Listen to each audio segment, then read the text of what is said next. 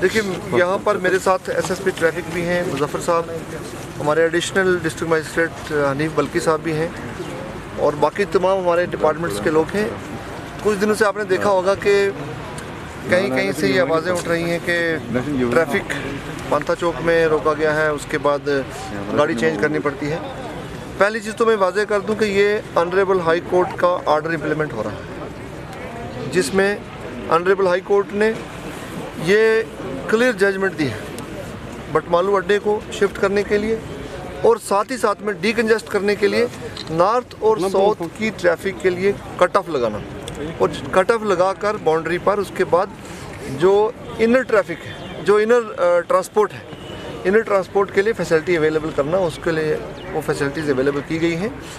हम इंश्योर करेंगे कि पैसेंजर्स को जहाँ तक किराए का ताल्लुक है। एक सवाल ये भी उठेगा कि पहले जितना किराया देते थे वो एक्स्ट्रा पड़ेगा ऐसा कुछ नहीं है।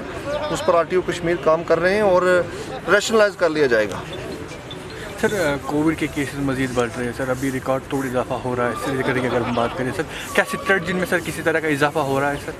देखिए कोविड के केसेस में पिछले कुछ दिनों से आप देख रहे हैं बहुत ज़्यादा उछाल आ रहा है। और सेकंड वेव में जो पीक केसेस थे डिस्ट्रिक्ट श्रीनगर में, वो 1300 के लगभग थे। और कल आपने देखा कि 1700 क्रॉस हो गए जिसका सीधा मतलब है कि ट्रांसमिसिबिलिटी बहुत हाई है। कुछ मिसकंसेप्शन हैं जिनको हम लेकर चलते हैं, वो बिल्कुल क्लियर होने चाहिए।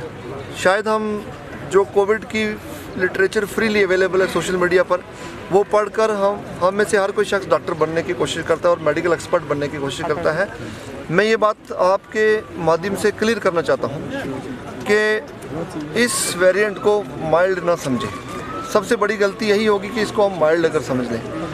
हमारे देश में आउट ब्रेक अब शुरू हुआ है, लेकिन आप देखें दूसरे मुल्कों में जहाँ यूएस यूके में साउथ अफ्रीका में, जहाँ पर पहले आउट ब्रेक हुआ इस वेरिएंट का, उसमें देखा गया है कि डेथ रेट यूएस में यूके और साउथ अफ्रीका की बनस्बत ज़्यादा देखा गया है। तो कोई किसी किस्म के प्रिजम्पशंस लेने की ज़रूरत नहीं है। ये वायरस बहुत अलग तरीके से हर जगह बिहेव करता है। हर मुल्क में इसका अलग बिहेवियर है। हॉस्पिटलाइजेशन नो डाउट कम है।